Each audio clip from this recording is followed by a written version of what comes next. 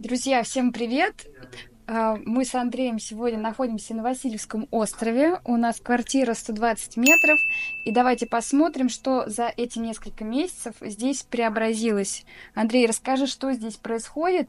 А, наши зрители увидят фотографии, что здесь было до, с чем мы столкнулись на этой квартире, что мы сделали за это время. Да, привет. А, мы все сломали. Вот, и обнаружили несколько сюрпризов. Ну, поподробнее сняли всю штукатурку, демонтировали все перегородки, а, демонтировали потолок, ну, штукатурку, осталась только дранка, разобрали полностью весь пол. Конечно, Андрей, к соседям вот мы не Сразу буду задавать попутные вопросы. А, то, что мы отбили штукатурку, убрали все перегородки, здесь у нас было пять комнат, сейчас здесь open space такой строительный. Две комнаты. А, две? Осталось. Осталось, да. А, Э, смотрите, на полу я вижу реальные рельсы. Да. Шпалы, рельсы.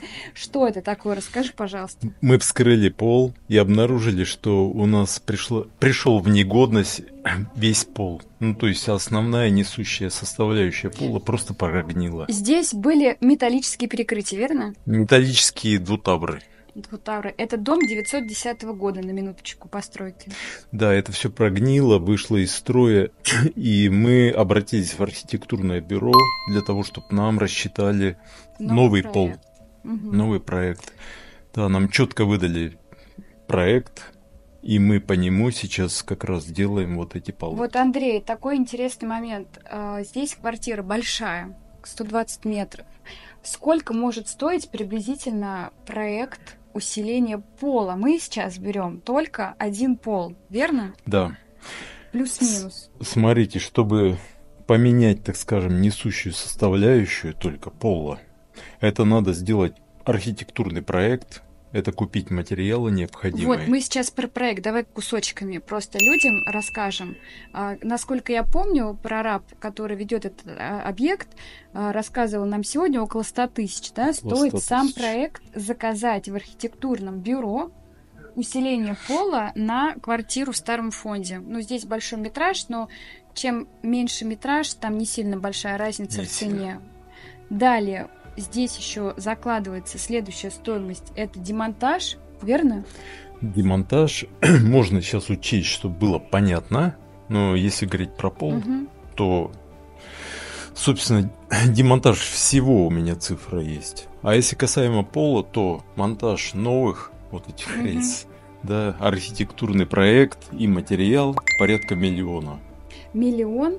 Миллион, друзья, 120 метров квартиры, еще раз повторюсь это просто подготовить квартиру к дальнейшей работе. И сейчас все, что происходит здесь, мы даже еще не вышли как бы в ноль. То есть, когда вы покупаете квартиру в новостройке, да, это такой ноль, после которого начинают идти ремонтные работы по нарастающей. То есть в старом фонде для того, чтобы начать ремонтные работы, мы должны из минуса выйти в ноль. То есть мы должны удалить все старые материалы, мы должны заказать необходимые проекты на усиление, если они требуются. А сейчас они требуются на самом деле все чаще, потому что время-то идет, дома ветшают, а всех этих историй никто не отменял. Туда же, допустим, дизайнерский проект, это тоже деньги, это тоже время. И в старом фонде без проектов работать колоссально сложно. И сложно и заказчикам, и мастерам. Поэтому ну, порой здесь и невозможно. И невозможно. Экономия, вообще ее нет. Если человек в старом фонде хочет такой, я, пожалуй, сэкономлю на дизайн-проекте, не буду его делать, вы не сэкономите, это сто процентов а, лучше э, все делать по закону, так скажем. С одной стороны, по закону городскому, что касается построек, а с другой стороны, по закону строительному и дизайнерскому, просто как иметь сборку, да, инструкцию вашего ну, ремонта знаете, по-простому скажу, это не передвинуть диван потом. То есть, если где-то ошибиться в перегородках, придется сломать всю перегородку и заново строить. Это минус 50 тысяч, например, только так быстро очень угу. теряется. Потом еще раз 50 тысяч, потому что не продумали. И у вас в итоге этот дизайн-проект окупится потом сторицей, если его Это сделать. Точно.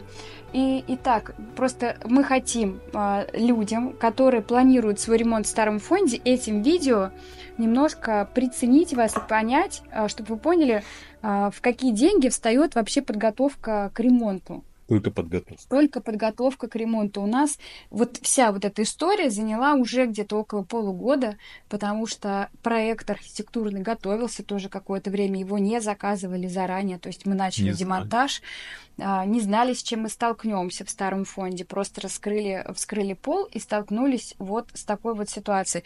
Здесь у нас дальше а, вот, вот эта ниша, которую вы видите с окном, это зона санузла, а, там вообще просто беда а, там с доски, перекрытиями. Все прогнило. Все прогнило. То есть, э, если не заказать такой проект, если не подумать про эти усиления, а, можно просто провалиться. Но это уже безопасность жизни. Провалиться, так реально нельзя. провалиться. Такие случаи были э, к соседям, вниз или на вас кто-то свалится. В данной ситуации мы будем усиливать э, верхнюю часть то есть это у нас потолок, а с другой стороны соседи, получается, пол. Да?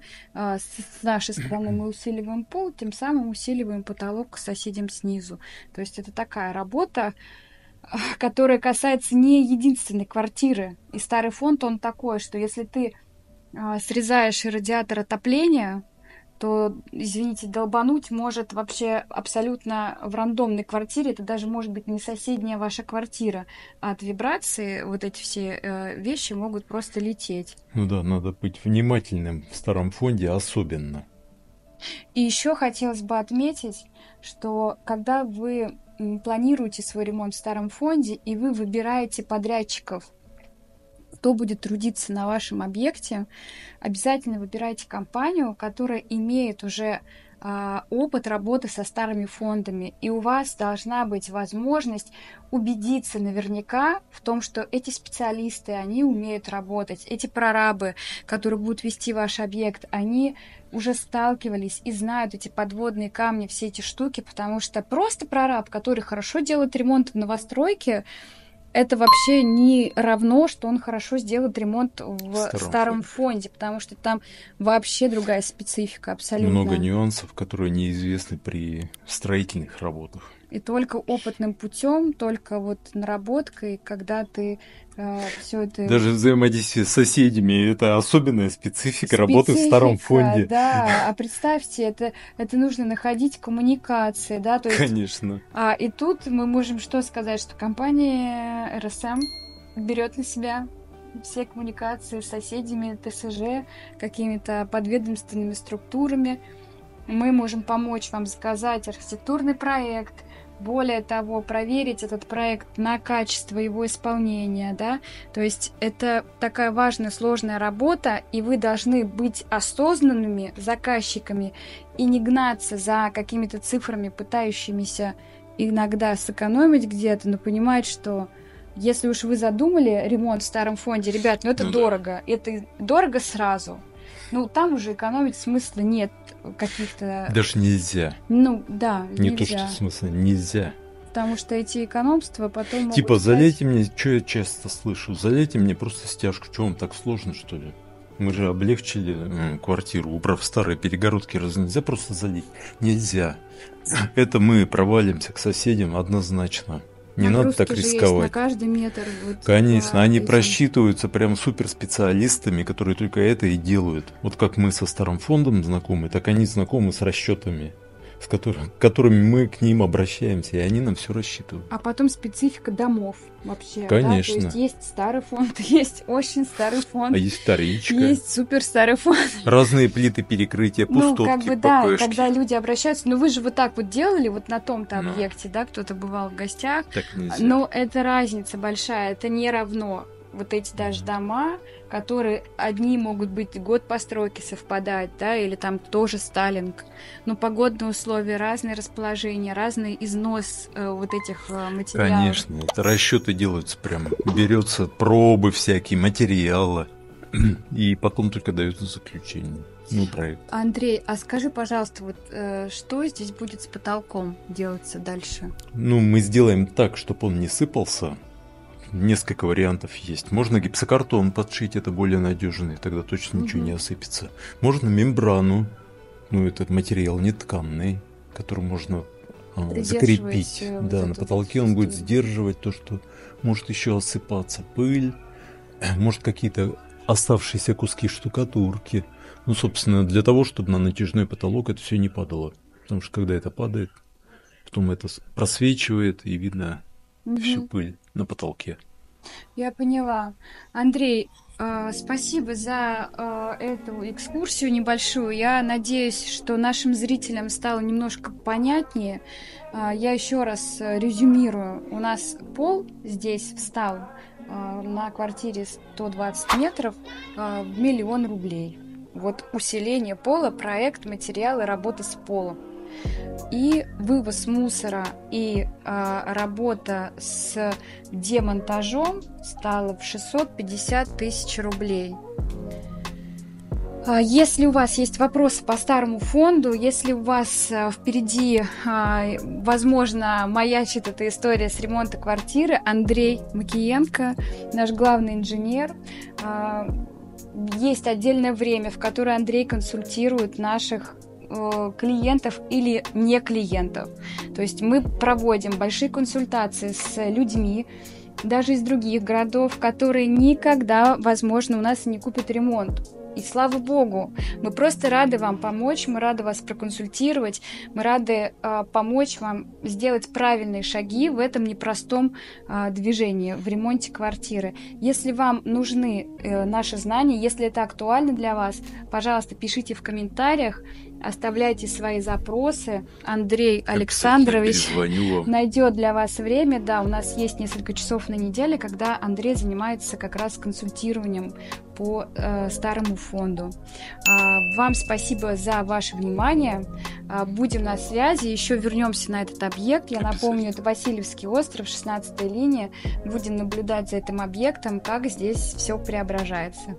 До новых встреч. Пока.